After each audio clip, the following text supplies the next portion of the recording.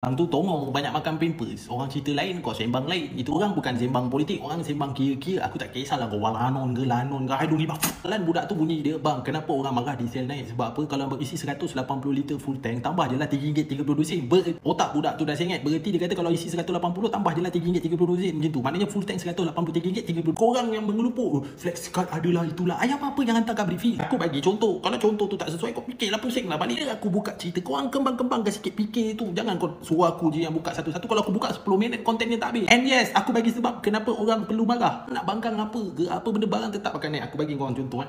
ha. ni dah start.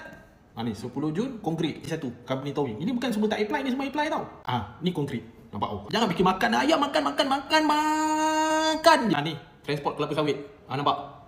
Nah, ini semua company-company separa tycoon confirm naik. Yang ini paling menarik. Aku suka. Ini akhbar Cina dibincangkan 2 Jun. Eh. Okay. Kami kat sini operasi laran saya memerlukan diesel saja. Bukan truck pick up. Tapi pump air dah banyak. Ah, cuma maknanya okay, bukan tak apply. Eh, tapi tak dapat. Tahu sebab apa? Sebab kebanyakan kalau korang pergi Cameron tu kan. Kebanyakan semua rent. 80% tau. Banyak tau. Kenapa peniaga-peniaga kecil di sana dia lebih refer rental? Dia orang nak elak kos repair tu. Sebab apa? Nak jual sayur ni. Nak repair ni. Itu orang. Jangan cerita pasal loan. Loan bukan senang bang. Kalau meniaga kau tengok bank statement kau kejap. Macam ombak ke laut. Memang takkan dapat. Sila kalau ada pun mesti bunga kau-kau dia orang bisnes mah mesti ada pusing-pusing memang kalau kau pergi Cameron kau nampak kan pemborong sayur ah bila kau belik transport dia semua aman logistik lah apa benda lah inilah bawa-bawa turun tempat-tempat yang macam ni yang tempat-tempat peniaga-peniaga kecil ni baru kau tahu macam mana dia orang pusing untung rugi. Nak tengok bila tycoon-tycoon besar melompat nak kejap. Yang, yang kau cakap kat flat ada kat flat. Kau kat, kat flat apa? Ah, nah, ada limit bang. OF yang cakap bukan aku ah, nah, eh. Ada limit eh. Kau tengok nanti. Kalau dia dapat dia tak puas hati dengan limit ni kau siap. Tengok je kalau kau tak percaya. Ini ada satu pakcik tu. Eh budak ni jual kasut juga jual ayam. Makan ubat darah tinggi tu muka dah nak jatuh dah tu. Tengok sekarang stroke nanti. Saya sembang-sembang begini sangatlah. Bibir pun dah tak ada darah dah.